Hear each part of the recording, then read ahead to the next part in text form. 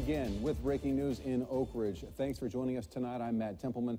KEZI 9 News reporter Jillian Smukler is live in Oakridge tonight with the very latest there. Jillian?